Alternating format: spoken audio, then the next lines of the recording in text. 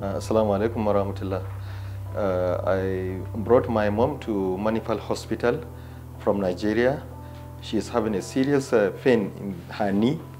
She cannot even sleep because of the pain, and uh, she can all her the activities she cannot do because of the pain. She is only sitting down and uh, uh, know anything doing. But Alhamdulillah, now we come. The surgery was done by Dr. Sunil, very kind doctor, and uh, she has done the surgery. I have seen the, the picture of some one woman which her leg was completely gone, but she has done it. So this is what gave me uh, confidence that he can do this. And, uh, we have been in the hospital for only five days. Now after 10 days, she can stand off by herself and uh, she can walk. She can go to toilet, which before I have to carry her myself to all those. Uh, she came to me with increasing complaints of uh, left knee pain over the past uh, four, four and a half years, which, had- which had increased over the past one year.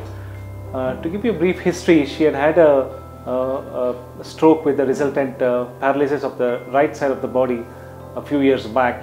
Uh, since then, although she had recovered and ambulated, most of the time she used to use the left side of the body for ambulation. So, as a result of which, her left knee had worn out much faster and to an advanced degree.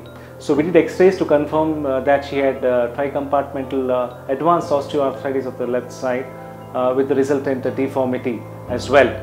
Her condition was a bit more uh, different from the others in the case that because of putting more weight on the left side, she had advanced wear out of the knee with, with the resultant bone loss. So the surgery went on well, and she also needed a, a slightly constrained implant, which we use in cases where we find that the ligament balance is, is difficult to obtain because of advanced uh, ligament stretching out. She did well post surgery, and uh, she was ambulant. Uh, the very next day after surgery, with the help of a walker, she was discharged home in about four days' time, and she's doing well about three weeks uh, post surgery. My mom is very happy. She's very happy, and me too. I'm very happy. So that we are going back home, she can walk herself. Which at the time we are coming, we have to carry her. She cannot walk. But Alhamdulillah, now she is going back with uh, complete legs, no pain.